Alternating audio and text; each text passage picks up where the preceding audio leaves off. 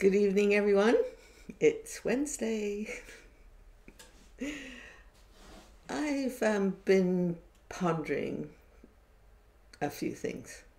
Matthew and I went to the beach the other day and we were talking about unity and diversity and the power of love, also the love of power.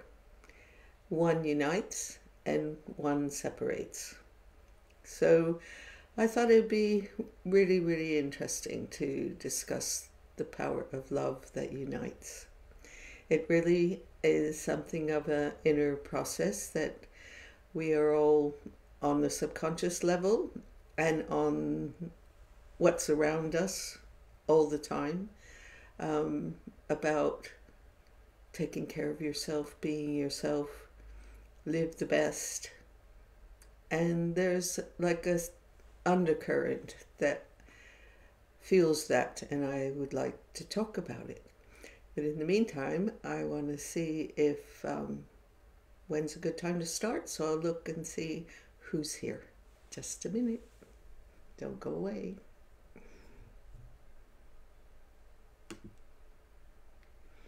Hello, Donald. I hope you are well today. Erica and Verpy, hi. Hi, Lori and Lily, hi. And Myra and Juliet, hello. I hope you got my message about glazes. Good evening to everyone. We got Drew and Yvonne. Good evening.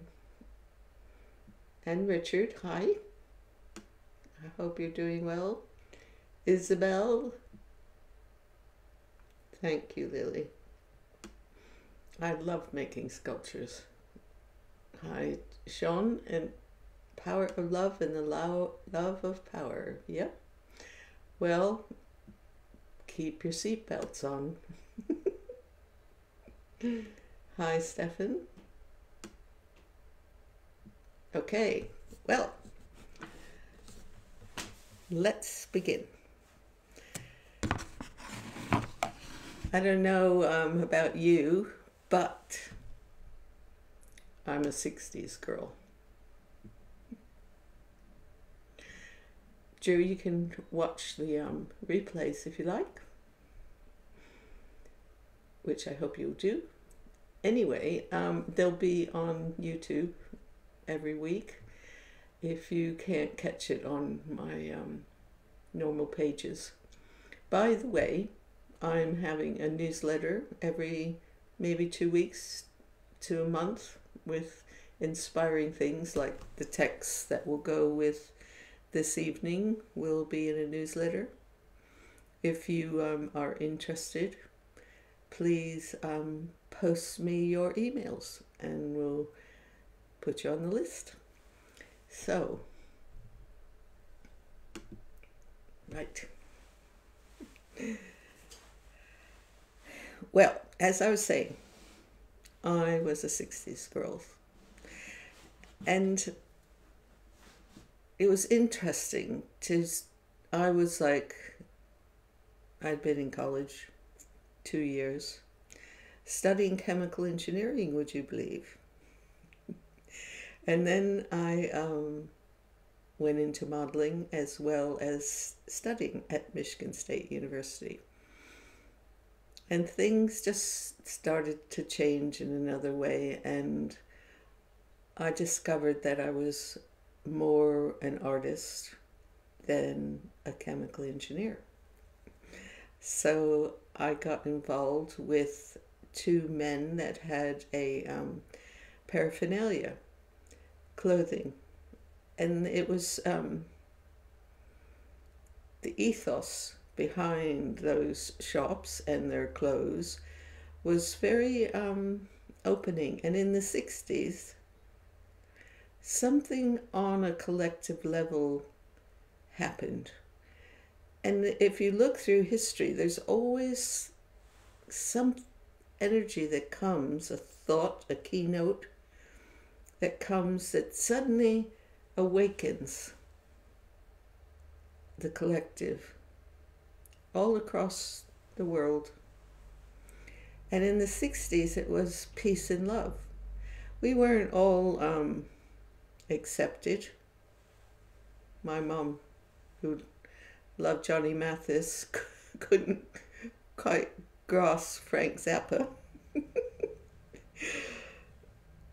oh, and I didn't have headphones, so it the sound was um, sometimes creep across the house. and then when it turned out that I um, I had two dreams. One was to be an actress, and one was to find love on the personality level. And it happened. David and I, our hearts just went. At least that was my experience. I'm pretty sure it was his too, because we just couldn't stay away from each other. Anyway, the point of bringing this up is that we're all part of um, the evolution of consciousness, which I've mentioned before. And the 60s certainly brought a big boom. We went into the um, green movement. All our food had to be organic. Well, it started to be organic. What really was um, happening is that the idea of being holistic started coming in. So it brought in ideas based around the body, the spirit, the mind. And we're all on that path in some way. And the collective for all of us is really um, calling us to be holistic. I mean, I don't, don't know if you've noticed, but even the little tiny ads on telly is all about exercise, take this vitamin, be happy. And then there's the pressure that comes so subtly to us that we have to be ourselves, discover who we are, meditate, awaken, care. And it's it's interesting. Where does that energy come from sometimes I ask. But it's it's quite a force. And it's it's like the, the power of life. Lily, the color healer that I studied with for many years until she passed over, um, used to say, humanity's not going to advance until they start realizing that everything is energy. Every part of us is some form of energy, a molecular structure that has the spaces between the atoms and and every everything is to do with energy. And what's fascinating is that love, not the romantic love, but that could be pretty one with the life force. Um, it's the power of life. We have to get used to having this within us because the phase we're in right now is that we can create together our universe. We've been playing around with it since the 60s that we could um, do this together. But it requires us to um, work together to accept the differences of who we are. My computer's just come off of its battery back on. I hope I didn't lose you. Um, so on one level, we have to learn to use, well, to accept that this exists, that we are it, that we have the power to create our lives and then take it further that we have the power to create the world. We don't have to accept all this. A lot of it is to do with fear. And somewhere in there, it's uh, when I was working at the center, we were we worked with a lot of people with a diff- lot of disharmonies.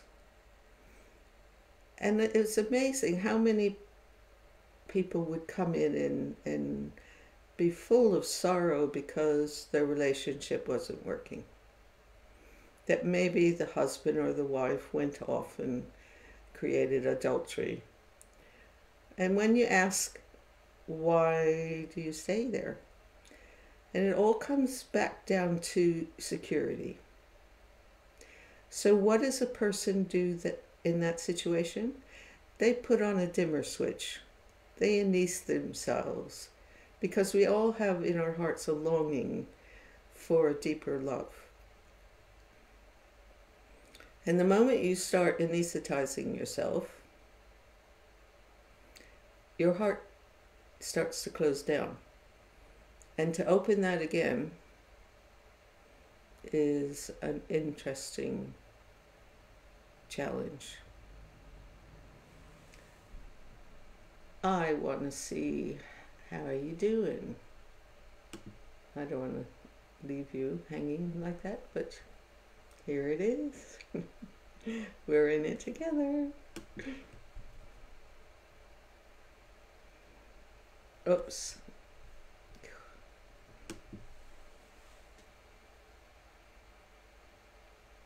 Right. Okay, Juliet, we can discuss it some more if you like. Not tonight. Um,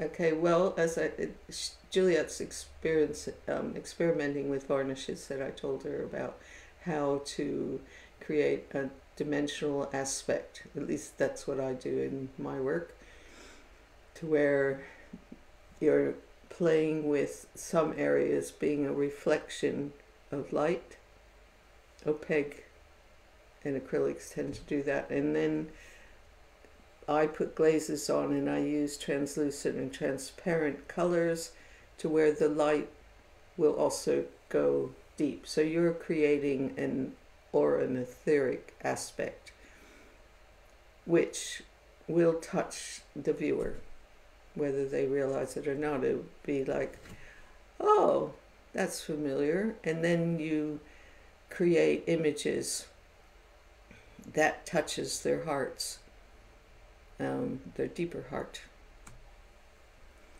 Lily was born in 62. Well, you were just a baby then. Burpee wishes so she had been in the 60s. 66 is when I got here. Okay.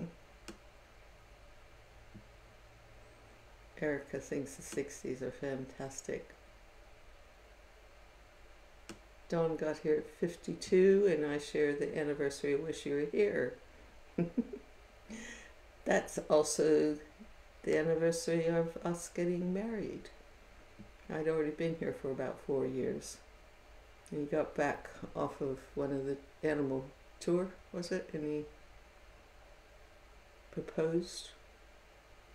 And they were in the uh, studio on the day that we got married, July 7th, 1975.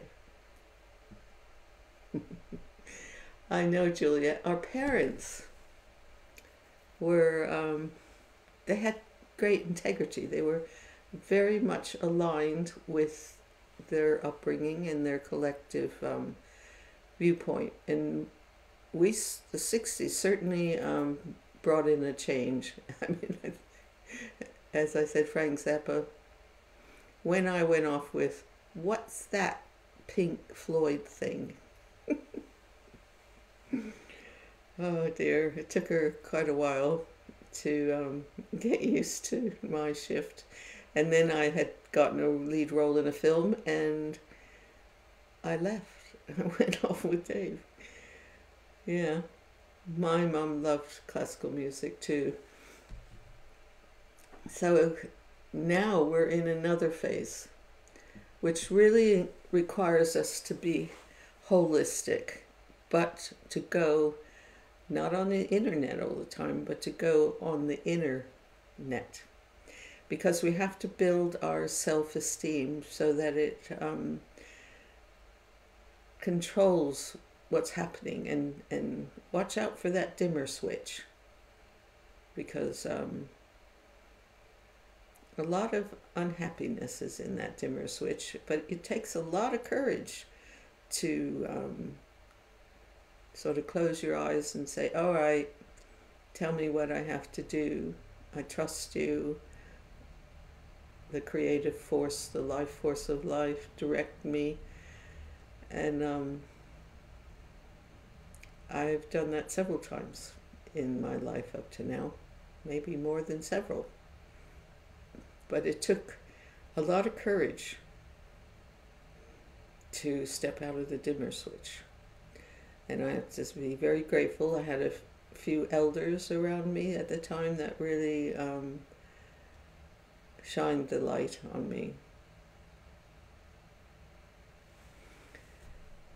Hi, Linda Landers. Welcome. Lori, that's fantastic. She refers to her acupuncturist as her electrician. Great way of describing things. And yes, Pauline, love is a frequency, but so is the power of love.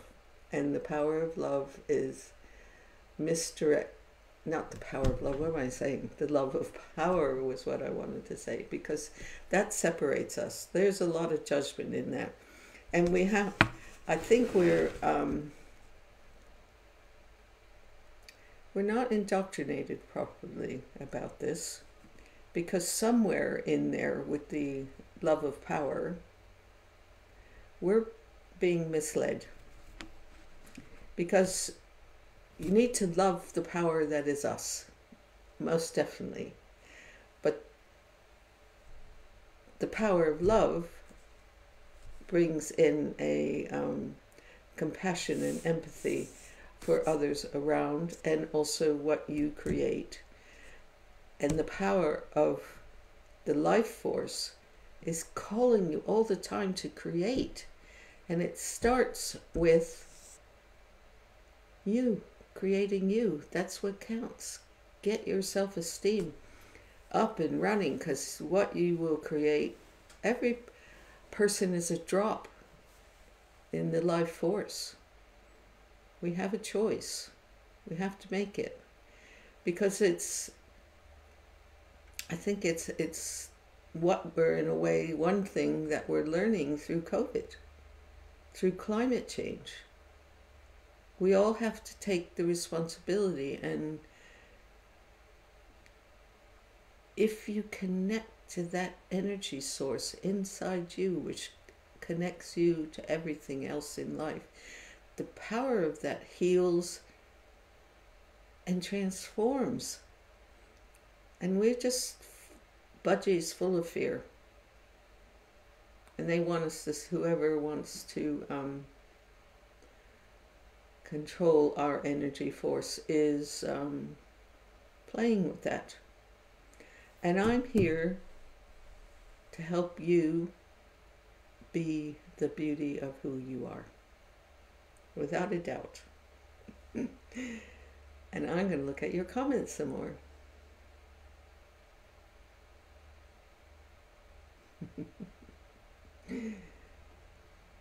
Lily fully accepts she's trying to create and understand my energy. You've helped in this journey.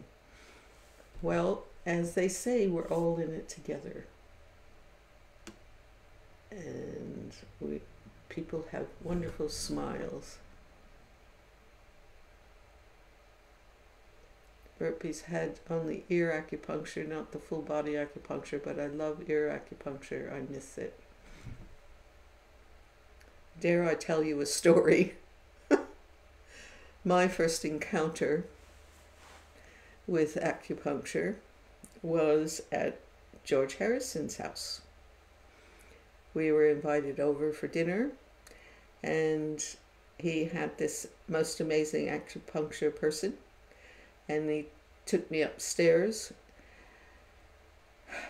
I will never forget the release and the tears and the crying. The crying that wouldn't stop. I mean, it was like a lifetime. And it was, I was so embarrassed because it was so loud. Because I couldn't control it. And I was a shy person at the time, so thought I'm in George Harrison's house crying my eyes out really loud.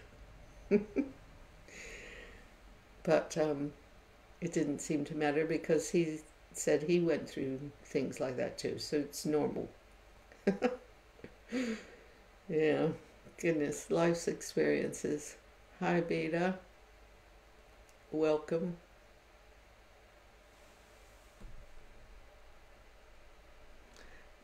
Linda, I hope my paintings invite you to find that good vibe inside you because that's the um, purpose. And uh, your responses are important to me. Juliet says, I completely understand the dimmer switch. That happened to me a couple times, and then I took the leap of faith. Scary, but it had to happen, and I felt proud of myself. It was tricky, and it probably took too long, but I did it. We all have our timing of when this happens. I don't know if I ever told you. I saw, I went to the Body, Mind, and Spirit exhibition a long time ago, and Caroline Myss was um, giving a lecture. And she brought in this idea that when we're born, we have a lot of electrical leads with plugs at the end. And in the beginning, a lot of plugs go into survival, into our parents, into our religion, into our culture, into our desires, and it just goes on as you get older. And then suddenly one day, your soul goes, Hello, it's time to wake up. I remember the day, and all I had was one wire, one plug. So I had to start taking one out, one out, one out. Some people think, oh, when they get that, they're going to pull out all the plugs, and you can freak out. I wouldn't advise it. But if it happens, then hold on to your horses, as they say. Oh, but I'll tell you one thing, as Cecil Collins, my art teacher, used to say, uh, a man without a vision or a woman without a vision isn't alive. And also, if you're an artist in any way, even in the art of living,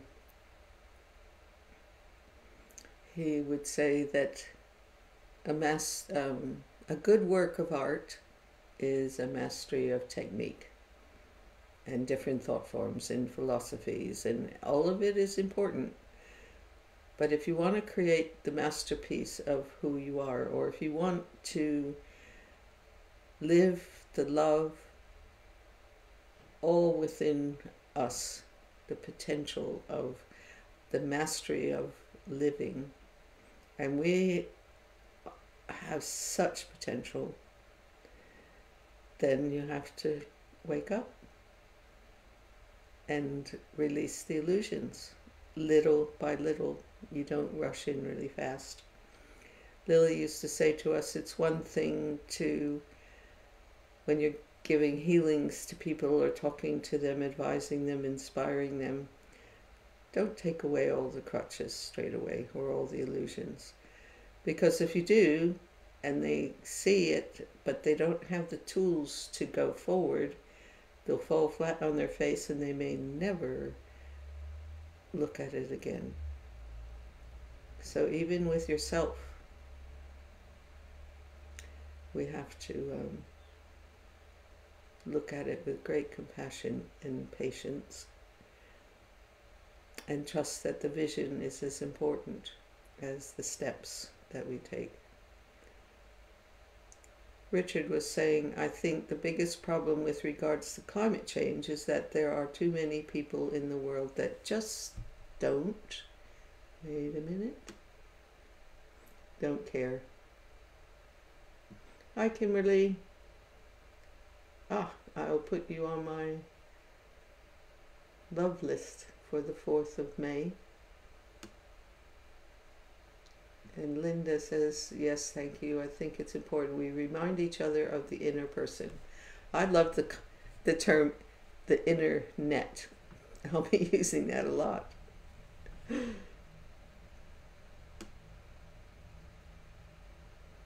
Burpee says it sounds like the first and only time I got Reiki, not long distance Reiki. It released all kinds of things in my troubled mind, and I think the person who gave me Reiki got scared too. I cried a lot and felt all kinds of energies. It was scary, but cool. And yes, I was sober. Erica says the pressure on normal people to save the climate is so misplaced. Although recycling, eating clean, etc., helps a little, it's really on the big corporations to stop the mass pollution done by their factories, but they are too money hungry. The love of power, I would say. Super frustrating. Ah, Linda, Cecil was your personal tutor at the Central. Amazing. Small world, as I say. Pauline thinks Caroline Myss was a breath of fresh air. I saw her on Oprah 20 years ago and she opened my eyes. Interesting. She was the one person that I would keep sending CDs to my parents. And they really started getting attached to listening to her. So doesn't matter how old you are. Um, Gurdjieff said that he, you can, um, even in the last moment, you can have realization. So just keep on the path. Yeah. What I find we need to um, think about, I want to plant a seed here. The corporations have um, a lot of power and there needs to be an awakening there. And I know several people that are um, working with organizations to raise their consciousness but I know the individual power of who we are doesn't have to think they're the ones that are doing it. Because we get together, life wants us to be happy and to care. They don't we we have to stop thinking they've got the power basically. I know it's difficult because everything that goes on in the news and everything, it's just always like nobody cares about anything and that there isn't any way. Well, there is a way. It's inside our internet. And the, every time one of us wakes up, it adds and adds and it grows. And you know, I really truly know actually how that can shift your individual lives and the world. So we just have to go on, girls and boys, men and women, and wake up to the power that is us with love. And I know we can do it. That's what our destiny really is. That's what we're here really to do. And somewhere in there, we let we gave away our power. It's that dimmer switch. We got to find our dimmer switch and change it and learn how to um, not give away our power to somebody else because we're frightened. Maybe we don't even know as a child it might have happened when you were little. But that doesn't mean you can't change it now. I know you can change it now. And there's loads of people on the planet that are waking up to the fact that we can live the 60s in 2021.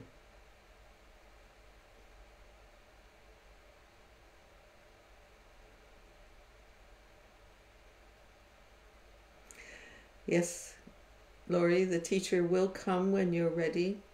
It's a promise.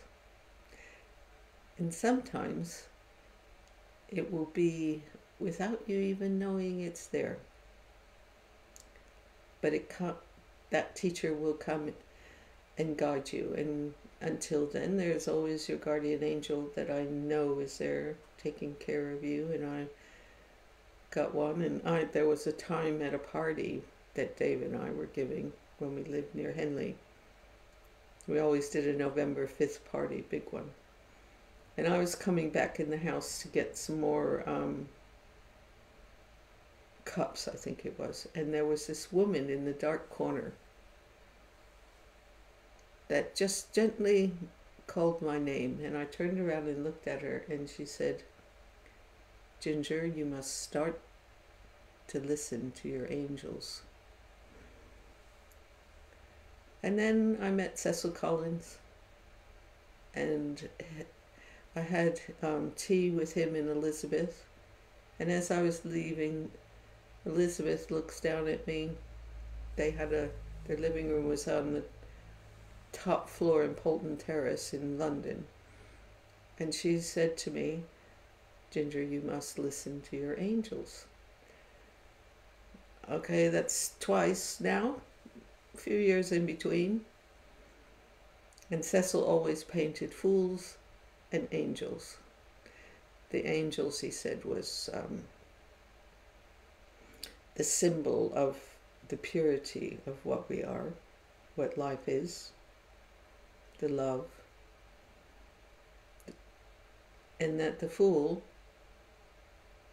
was um, jumped about a lot, going, Hello, don't believe in that illusion, find the truth.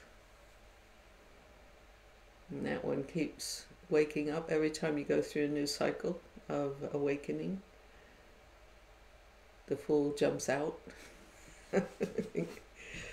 oh, angels, hold me.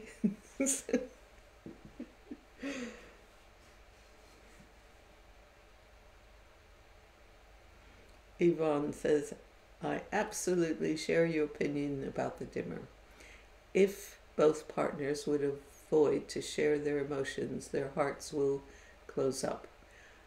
I would think both partners can experience to be loved. But that's for what we're here for to share our hearts and being love for the person you are and to let your heart and love radiate. And to do that, Yvonne, we have to do it to ourselves first. It's like we have been raised, and some part of us uh, deeply longs for love, but it's the love, the contact to the, the energy of life within us. And it's in a way, I mean, don't get me wrong, I really love personal love and companionship. But to reach that higher dimension with each other requires you to um, have a deeper relationship with yourself. Because somewhere in there, we all have a dimmer switch. Because we've been programmed to think that we can't be ourselves unless we have the car, the riches, the friends or even to even have a relationship. What kind of relationship are you jumping into um, based on a, a need for security, for love, when you don't even love yourself?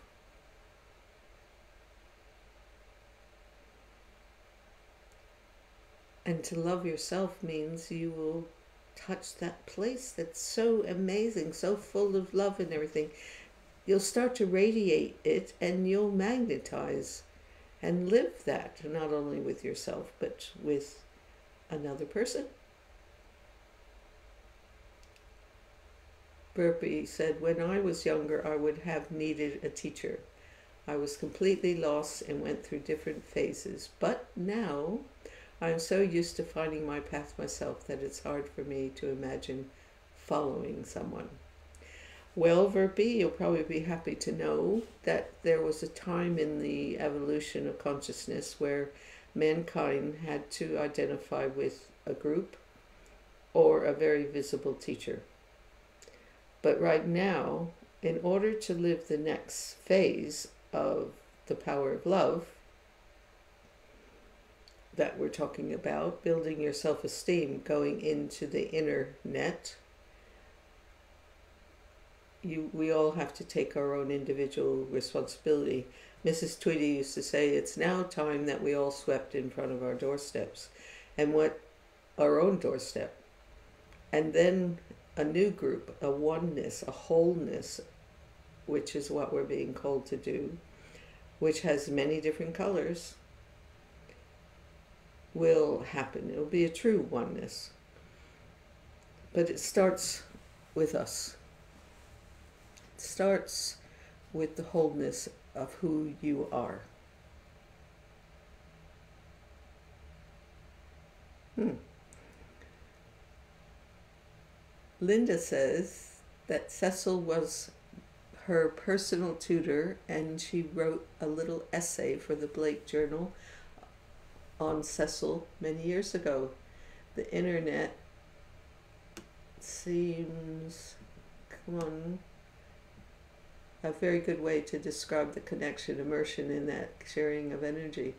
Linda, I, if you still have it, I'd love to read it if you feel um, that way inclined. Burpee says, I somehow think that someone has been protecting me like a guardian angel. In some way, I believe that our bygone loved ones are watching over us. A lot of people feel that for sure. Juliet says she has a little chat with her angels and speaks out loud to them. Someone told me once that they need to hear you properly. Yes. I find it so therapeutic. I never really ask for anything, I just chat, which I'm good at, as you know. Only wonderful vibration, vibrations from your chats, Juliet. They are being amazing to me. And this week, after one horrible thing happened, I have had two amazing things happen out of nowhere. It does happen like that, I have to say. They were, um, Caroline Myss said that in this process of being whole, the courage is to close your eyes.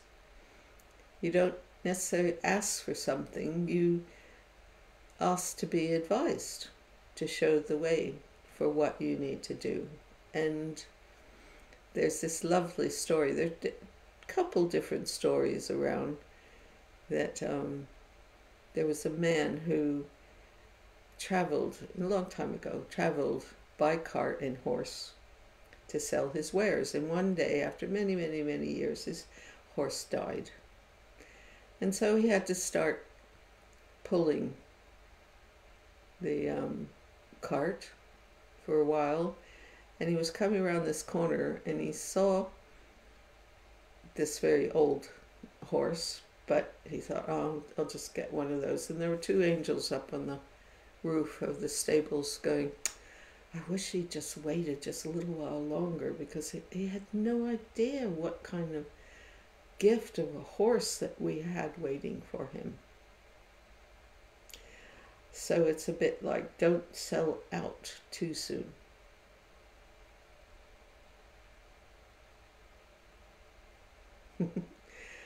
Richard apparently has a monk. I'm sure. There are very wise beings here helping us in many ways.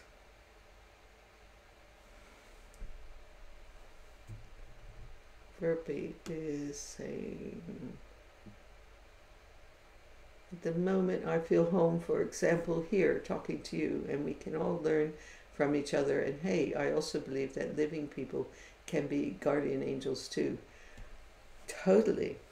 Mrs. Tweedy used to say, all you need is a person one step ahead of you. That will help you going up that spiral staircase to your meant to be born, to live, to create. I love this subject. Love, love, love. All you need is love. Da, da, da, da. Uh, yeah.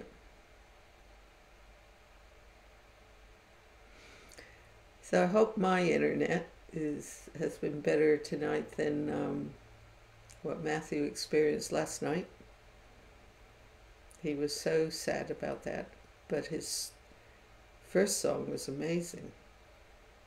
He just pulls these things out of the air, and that's he probably doesn't name it in any way or ex- try to explain it or anything, but when it comes out of the air like that, in whatever you're doing, even creating a tasty dinner, or when some little tiny treasure of an energy comes to you.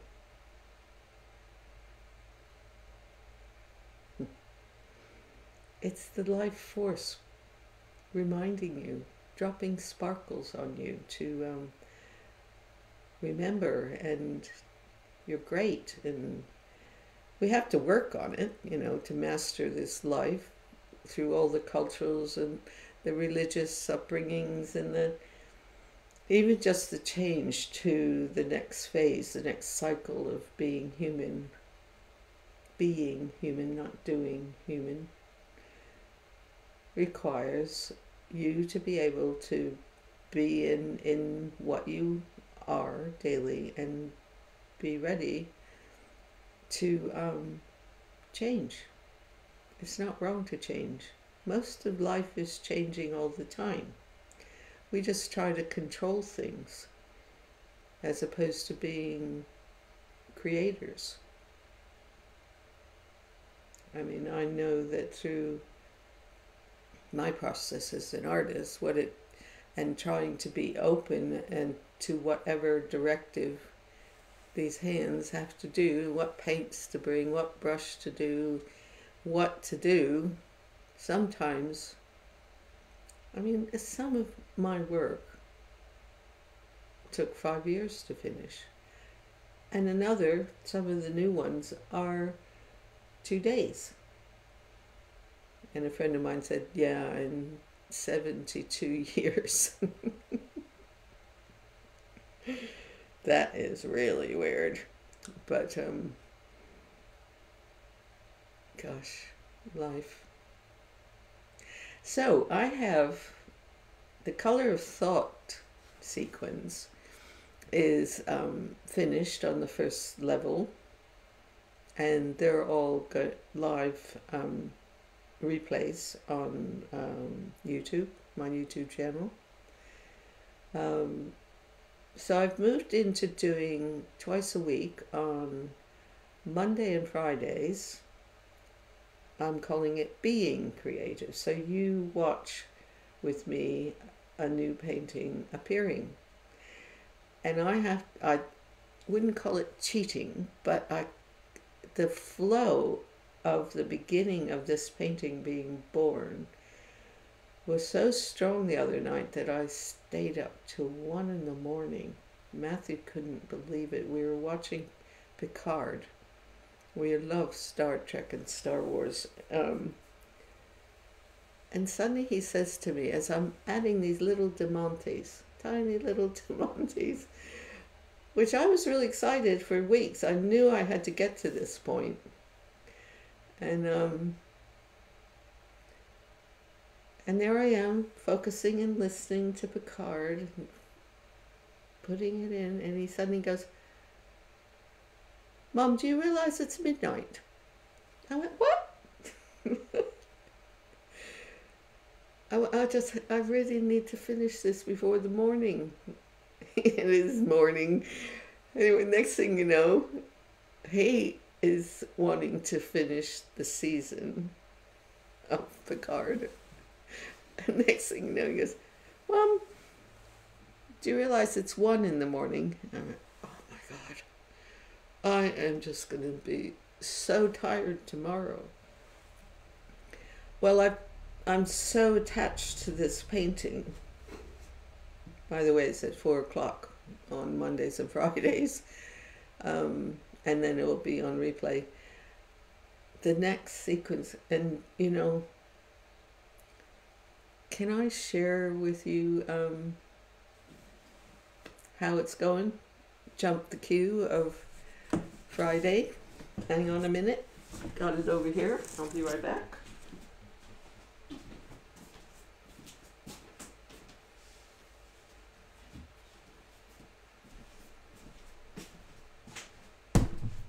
Here.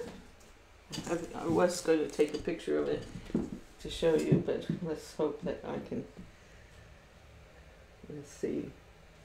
I'm just going to look at my monitor. There we go. Look at that. So the rose came to me last night to do. It's still being worked on. That whole area up there has to be done. But those are the little Diamantes that I did, and I have to finish the face.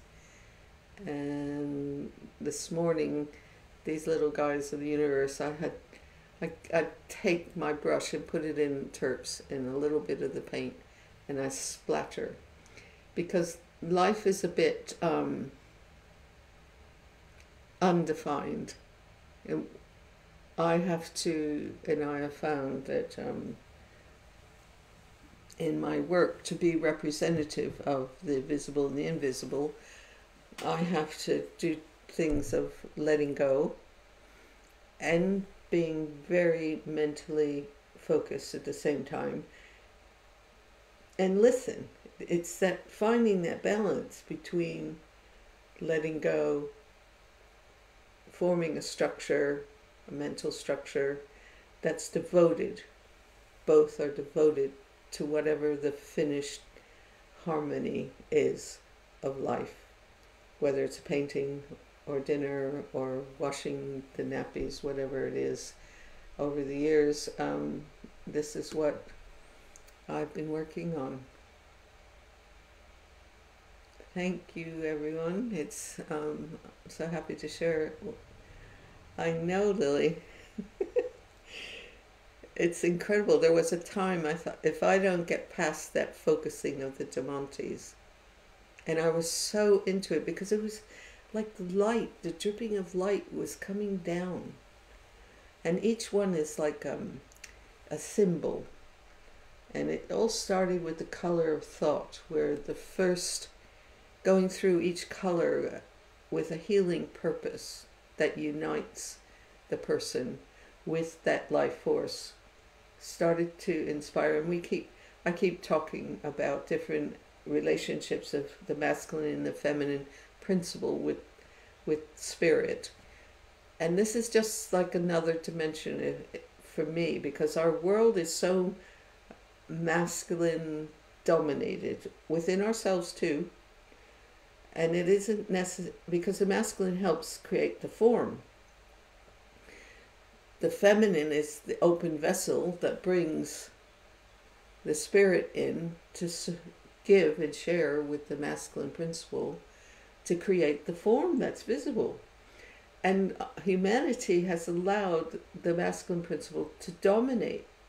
And it isn't that the feminine person or the masculine person is better than one or the other. It's like we're working together. And right now, the feminine principle needs to be revealed and brought into balance. And the masculine wonderful men has a feminine.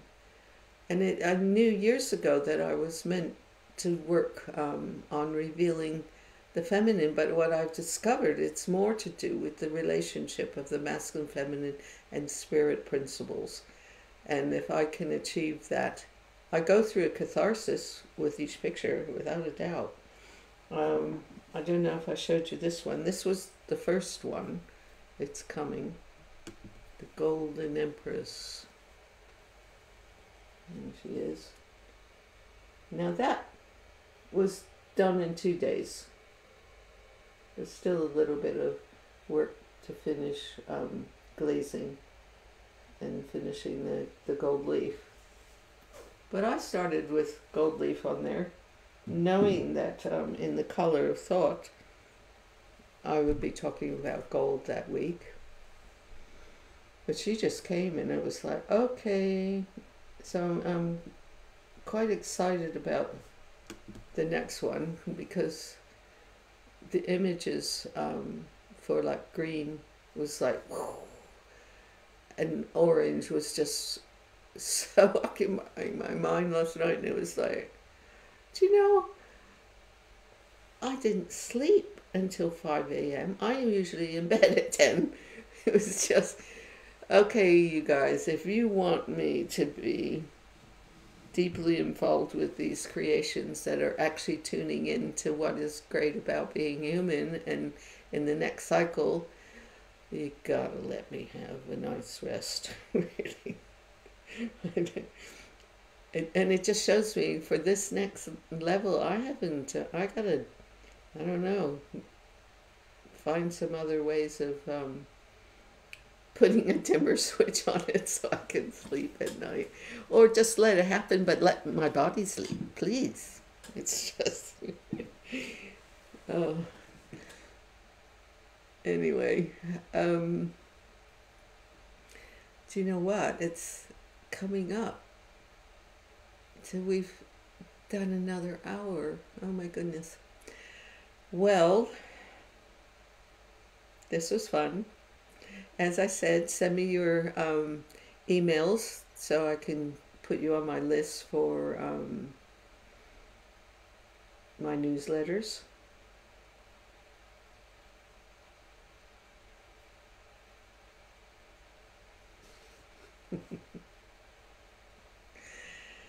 Yeah.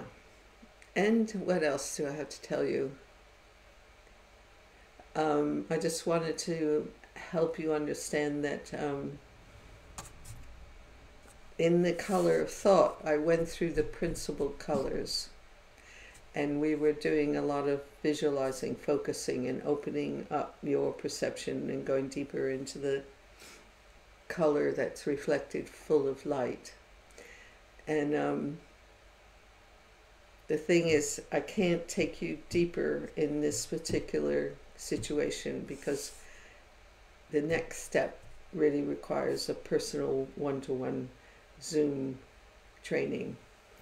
Um, so that's possible. If anyone's interested, let me know. And that always um, the basis of Cecil's teachings is um, available on my YouTube channel. They he had a certain um, theoretical experiential way of teaching us. There are basics to that in order to open up to your um, creative aspect that we were talking about tonight. So it's it takes those lessons take you through that with me talking and showing you examples and giving you exercises to where by the end of the five six lessons, I think it was, you enter into color as well. Um, and it's a you taking your own responsibility with my guidance, but it's not like live one to one in that moment, but it's an inner process. Trust me, it works, and it's up to you what way is appropriate for you to evolve. I'm happy that um, we're doing this. Linda says uh, gold is wonderful, and I'm so into ultramarine blue and cobalt blue at the moment. That those two, co- three colors, and of course pink slips in there. All the colors are slipping in there, and even in my color of thought lessons, red, which always was um, something I just use like a dot um, because Lily, color therapist, said that it's very um, rare that we use that color. And that might have been because it was like 20 years ago, and now mankind's starting to be able to open to that red. Listen to the color of thought on red. Really, it really taught me something going over it again. All of them, in fact it's um, it's a review that even has helped me. So with that final um, hurrah, be well, thank you so much for coming and sharing everything. And um, have a good night. I think I've got Chinese waiting for me. and I will um, see you on Friday, maybe. If not, it'll be Sunday with Matthew. And uh, as I said, love you, be well, and may the power of love be with you always. Good night.